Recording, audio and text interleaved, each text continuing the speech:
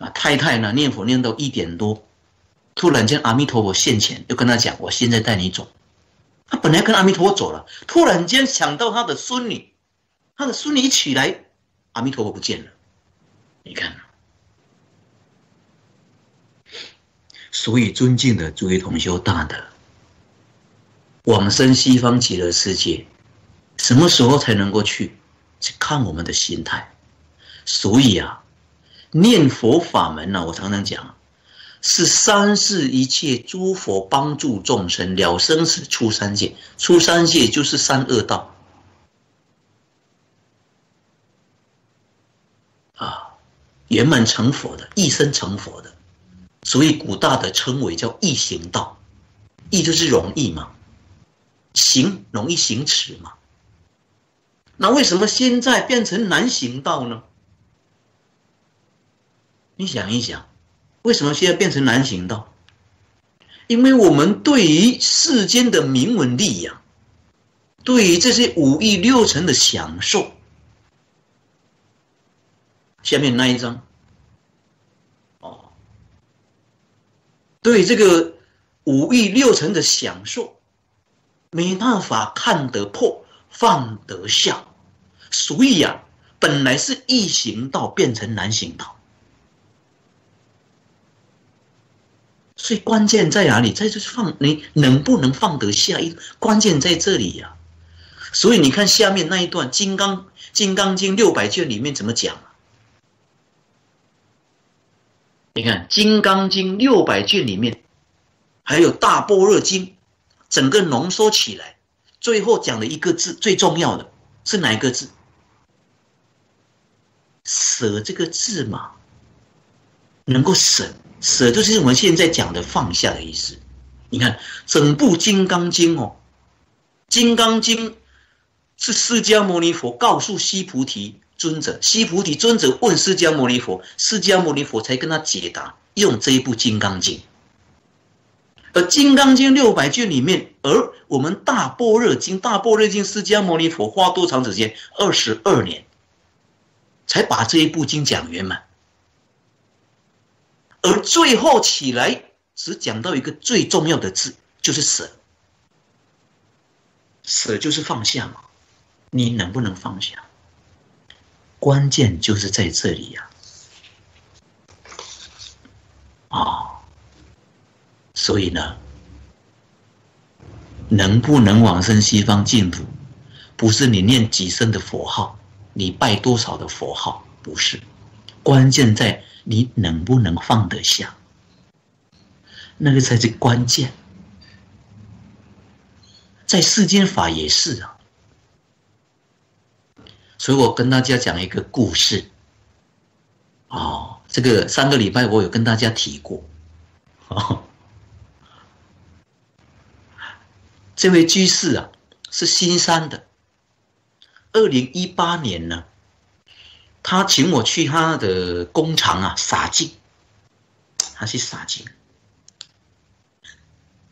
然后呢，在吃饭的时候啊，他讲了一句话，因为他那一句话呢，就是我学佛之前呐，就是说我在学净宗的之前，我常常问了，我干嘛要成佛呢？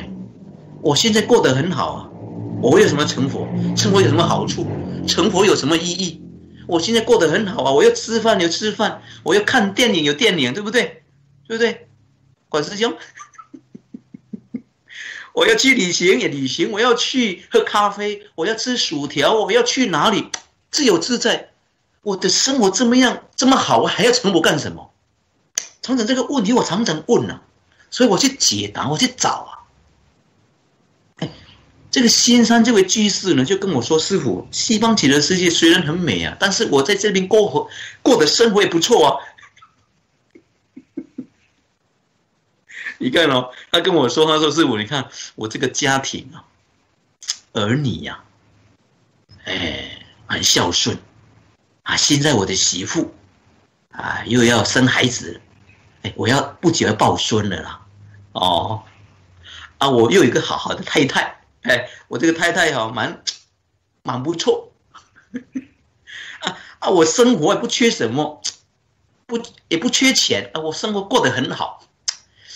我想哦，来世哦，来生呐，我会比这个更好。这跟我讲这个事，我就跟他讲，我说啊，对不起哦，这个真的对不起。我说啊，后头的还没到，到了时候你会感觉说，哎，世间真的很苦。我说后头的，那个你慢慢等，等到有一天到了时候，你就知道了，为什么我们要学佛。那就跟我说啊，师傅你怎么能够诅咒我？不是诅咒你，我讲实话啊。我跟你认识十年了，我干嘛讲你客气话？我讲实话啊，你不要发现来生。来世怎么样的？这是真的啊！印光大师啊，在全局里面呢，有告诉我们一件事情啊：千万不要可以发愿下辈子我要转世作为比丘，我要来弘扬佛法，我要来度化无量无边的众生。这种的愿太伟大，太了不起了。但是千万你不要发这个愿，印光大师啊，就在这里也告诉我们不准，而且呀，为为我们呢，到这里呀，画叉画叉一个，不可以。为什么呢？你来生能不能做人呢？还是个大问题呀。这印光大师说的。你来世能不能做人，还是个大问题呀？可能你来世，你可能可能说，可能去做羊、做牛、做马，或者生在三恶道，还不一定哎。千万不要发这个愿，你要发愿到哪里？先到西方极乐世界。到了西方极乐世界，见到阿弥陀佛，你有这个能力了，你是菩萨再来了，你是不退转的菩萨再来，你要度什么样的众生？你有能力。你要众生无边誓愿度，法门无量誓愿学，你有这个能力。现在千万不要，你必定要这一生，必定要了结，了结解决我们的生死，那个才是重要的。所以台湾呢，有一个故事啊，我跟大家来讲一讲啊。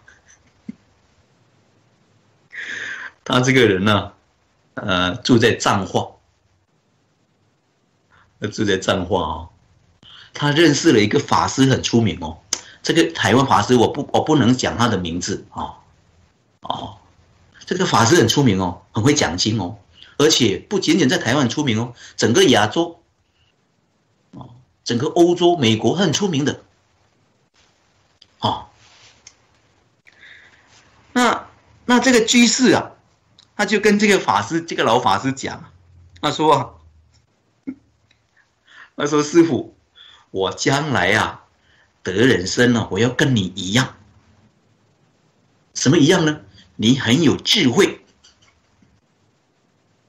我要来啊度无量无边的众生。”他就跟这个老老法师讲这句话，老法师怎么说呢？他说：“啊，你头脑有问题了。”头脑派体啊！啊，我在台语是讲头脑派体的，头脑有问题了。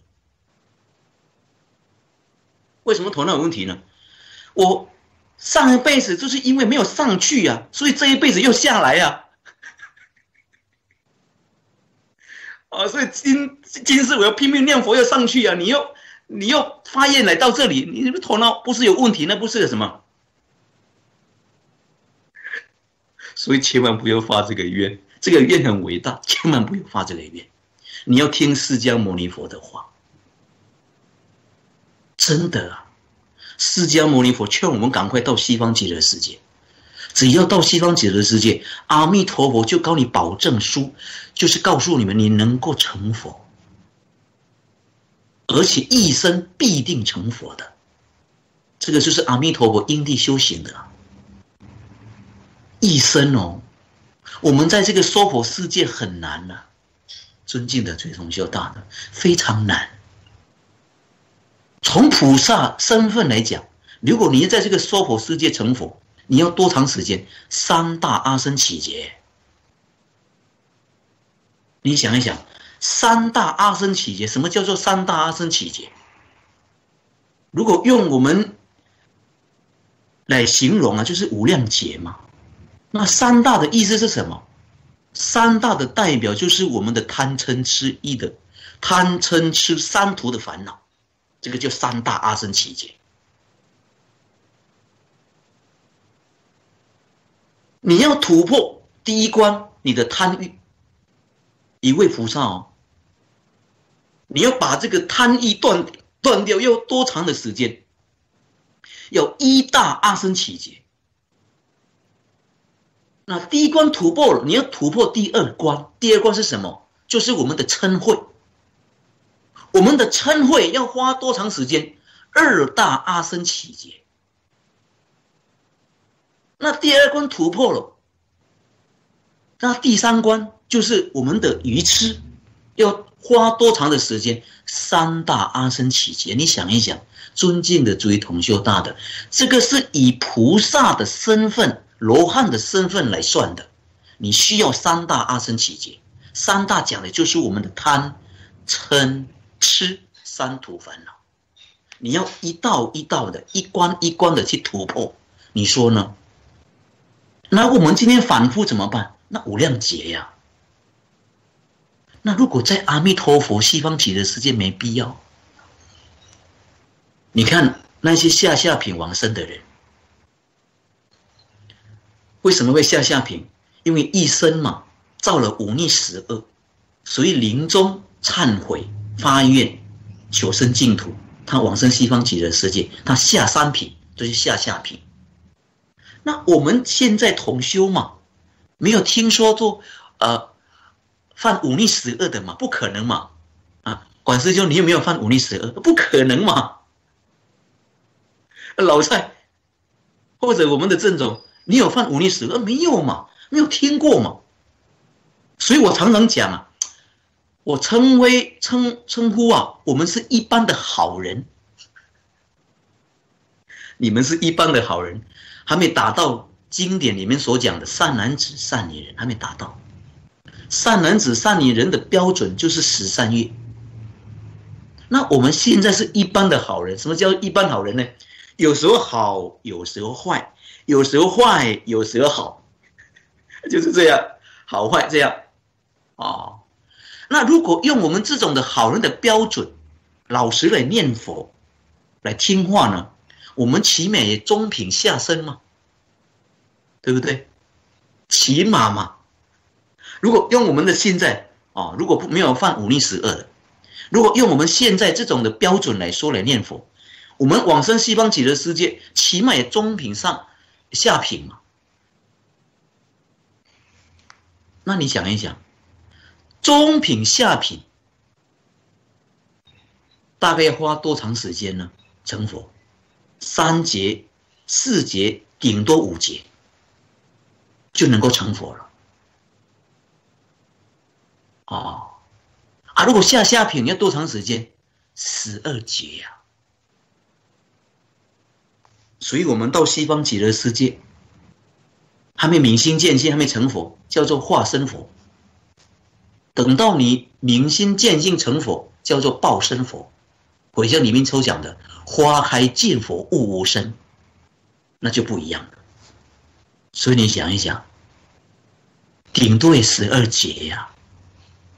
但是我们在这个娑婆世界无量劫，你想一想，尊敬的诸位同学大的，很苦啊，很累啊。因为没有时间跟大家形容表法，为什么释迦牟尼佛要我们到西方极乐世界？原因在哪里？为什么要成佛？我为什么要要成佛呢？为什么释迦牟尼佛三世一切佛要我们赶快成佛？而且三世一切佛是最喜欢的一件事。为什么呢？我会跟大家分享下个礼拜。所以祖师大德啊，为什么通宗同教的？你看这些善导大师永明延寿。还有这些偶一大师、印光大师、临此大师，都是通宗通教的、明心见性的。到最后，你看，